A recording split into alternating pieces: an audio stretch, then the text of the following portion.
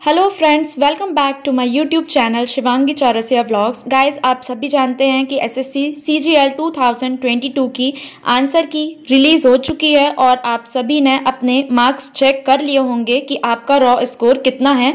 आपने rank IQ पे अपना रैंक भी चेक कर लिया होगा।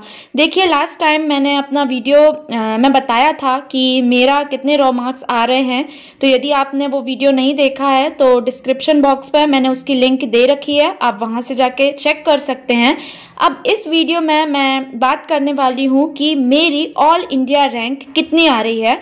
तो चलिए एक एक करके देख लेते हैं कि कैटेगरी वाइज रॉ मार्क्स में मेरी रैंक कितनी आ रही है और मेरी नॉर्मलाइज रैंक कितनी आ रही है। तो सबसे पहले बात करते हैं rank based on raw marks तो यहाँ पर देखिए गाइस यहाँ पर यदि मैं कैटेगरी रैंक की बात करूँ तो मेरा seventy thousand four twenty two में से मेरी जो रैंक है, वो है thirty nine thousand seven fifteen.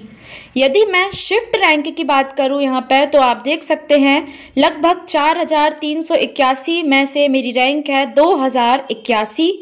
और यदि शिफ्ट कैटेगरी रैंक की मैं बात करूँ तो यहाँ पर मेरी रैंक लगभग सत्रह सौ चौंसठ लोगों में से आठ सौ पैंसठ बन रही है। यहाँ आपने जितनी भी मेरी रैंक देखी होंगी तो आप यहाँ पे देख रहे होंगे कि लगभग हाफ़ आ रही है मेरी रैंक, उतनी अच्छी नहीं है।